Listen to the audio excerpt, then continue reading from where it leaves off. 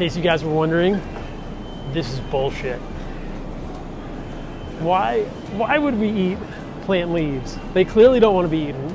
They're full of defense chemicals. This is garbage. It's clearly trying to kill you. Kale is bullshit. That boy ain't right.